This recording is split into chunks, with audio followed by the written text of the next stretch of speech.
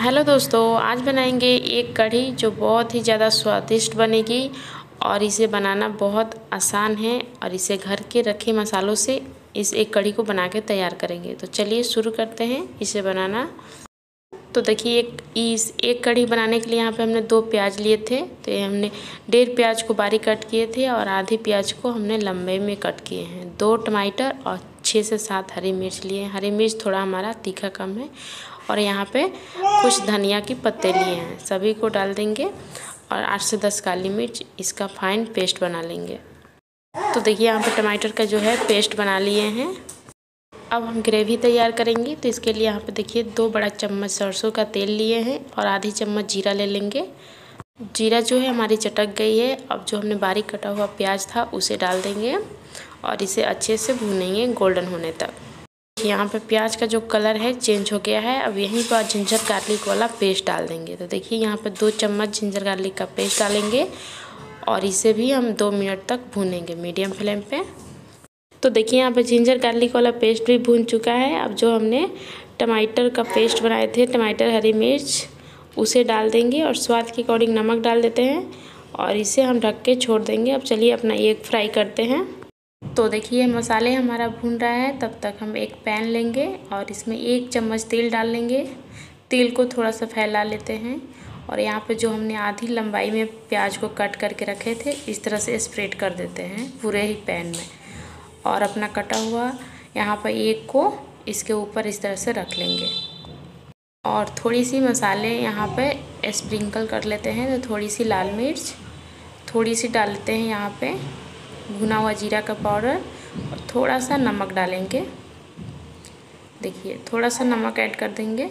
अगर इस तरह से आप एक कढ़ी बनाते हैं तो आपको बहुत पसंद आएगी। एक बार ज़रूर ट्राई कीजिएगा। तो देखिए, इस तरह से दो मिनट फ्राई करेंगे एक तरफ़ और एक स्पून के सहायते से इसे पलट देंगे। तो इसे अलट पलट के अच्छे से क्रिस्पी होने तक फ्राई कर लेते हैं। तो देखिए एक फ्राई हो रही है। तब तक यहाँ मसाले चेक करते हैं। तो देखिए, हमारा प्याज, टमाटर वाला जो मसाले थे बहुत ही अच्छे से भून गया है। अब कुछ सूखे मसाले ऐड कर लेते हैं। तो यहाँ पर जाएगा आधी चम्मच भुना हुआ जीरा का पाउडर, एक चम्मच धनिया पाउडर, एक चम्मच कश्मीरी लाल मिर्च, एक चौथाई चम्मच हल्दी पाउडर और यहाँ पर आधी चम्मच जाएगा गरम मसाला पाउडर। थोड़ा सा पानी डाल के मसाले को अच्छे से भूनेंगे। चलिए मसाले को ढक के और इसे पकने तक इसे पकाते हैं। देखिए, यहाँ पे मसाले को पकते हुए करीब चार से पाँच मिनट हो गया है। मसाले जो है, बहुत ही अच्छे से पक गया है। देख सकते हैं, इसका कलर भी चेंज हो गया है और यहाँ पे पैन को भी छोड़ रहा है। तो मसाले अच्छे से पक गया है। तो अब हम क्या करते हैं, ग्रेवी के अकॉर्डिंग पानी ऐड कर लेते हैं। तो यहाँ पर पहले थोड़ा ही पानी डाले हैं, लेकिन थोड़ा सा पानी और डालेंगे। तो यहाँ पर करीब करीब हमने एक गिलास के करीब पानी ऐड कर देंगे। और इसमें थोड़ा सा उबाल आएगा, उसके बाद से अपने सारा एक जो है इस तरह से एक एक करके डाल देंगे। देखिए आप यहाँ पर जो हमने प्याज डाले थे, कितना अच्छा ये गोल्डन फ्राई हुआ है।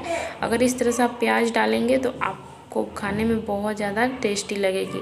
तो इस तरह से सारे एक को डाल देंगे, थोड़ा सा हल्के हाथों से इस तरह से पलटे से घुमा देंगे और गैस के फ्लेम को मीडियम हाई करके इसे ढक के सिर्फ़ दो मिनट के लिए पकने देंगे। चलिए इसे ढक के दो मिनट बाद देखते हैं। तो देखिए दोस्तों, दो मिनट बाद देखेंगे यहाँ पे जो हमारी एक कढ़ी है, बहुत ही अच्छे से उबल गई है और इसकी जो ग्रेवी की थिकनेस है, बहुत ही बढ़िया।